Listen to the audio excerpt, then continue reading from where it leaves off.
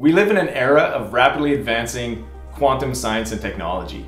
Quantum materials and quantum technologies harness the remarkable properties of the microscopic world in order to build things like ultra-fast computers, ultra-strong materials, perfect conductors, and things like that. Quantum devices produce the ultimate big data.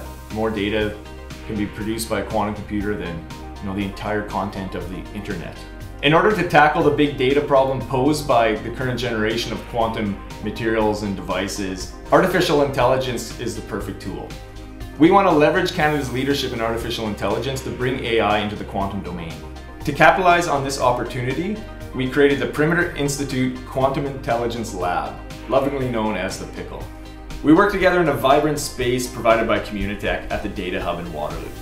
It's a unique space to get scientists together to work on common problems. We perform scientific research at the intersection of quantum physics and artificial intelligence and produce open source codes that can be used by groups, labs, and industries around the world.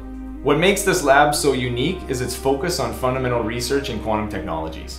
The Quantum Valley here in Waterloo is the center of development, uh, both scientifically, technologically, and possibly even economically Information is part of every aspect of our lives. Quantum computers have the potential to fundamentally change our relationship with information.